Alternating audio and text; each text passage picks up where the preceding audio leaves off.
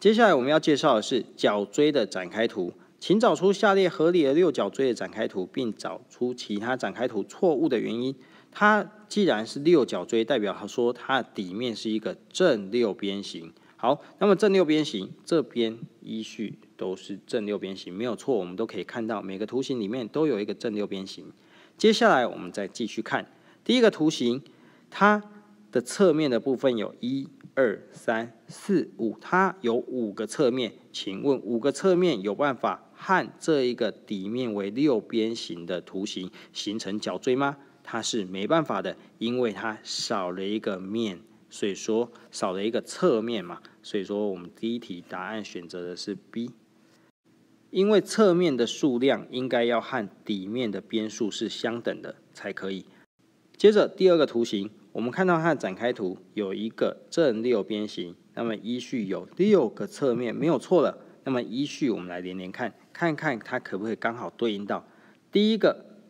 这个面的底边和这里刚好可以连接，这个三角形和这个底边刚好可以连接，这个三角形和这个底面刚好可以连接。那么依序我们可以看到图形，它们这些侧面都是等腰三角形，没有错。所以说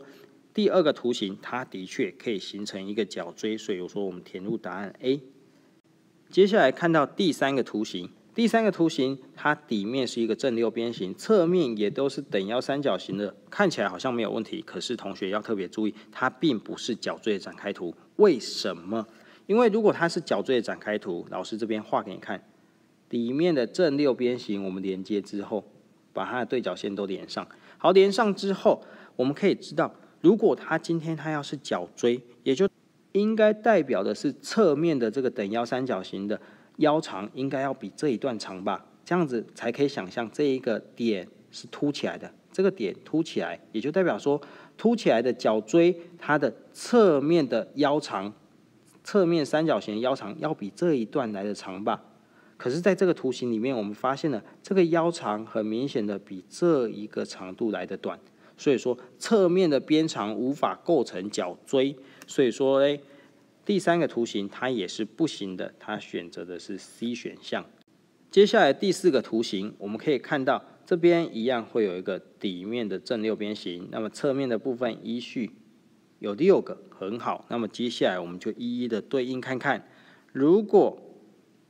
它可以刚好形成角锥的话，那也就代表说每个侧面都有一个对应的底边和它连接嘛。所以说这边有连接，这个也有对应到。这个也有对应到，这边也有对应到，哇，这边重复对应了耶，所以说代表的是，如果我直接组合起来，这两个面会怎么样？会重叠在一起，所以说有侧面会重叠，